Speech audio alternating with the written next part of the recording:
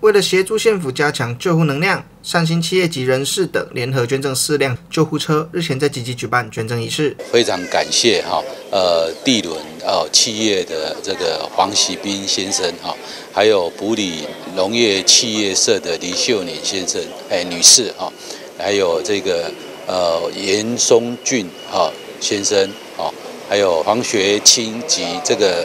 呃余素媛哈这个女士哈。呃，共同捐赠了四部的这个救护车哈，还有这个随车的救护的一个器材哈。县府秘书长洪瑞智则表示，随着社会形态转变，科技日新月异，伴随而来的潜在危险也越来越高。这是感谢善心企业与民众热心公益捐赠救护车，县府将用在最需要的地方。那我们知道说，因为社会的进步还有转型哈，还有科技哈，呃，日新月异哈。那其实，在生活上也造成了有一些的风险存在哈。那所以，呃，因为天灾地变或者交通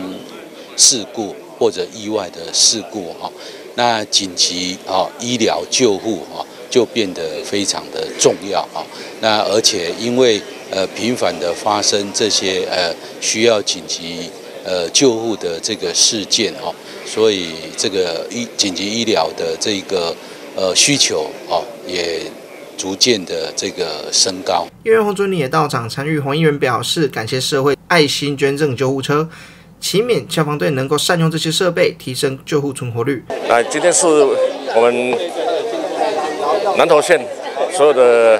企业界还有。民间团体捐赠我们南投县消防局救护车的捐赠典礼，由我们这些企业界来抛砖引玉，能够引起更多的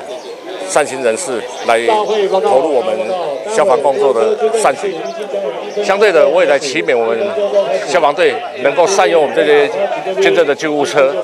来提升我们的救护的存活率及挽救宝贵的性命。主办单位表示，此次共捐赠四辆救护车，将有效协助提高县内的救护量能，保障民众安全。记者邱平义积极采访报道。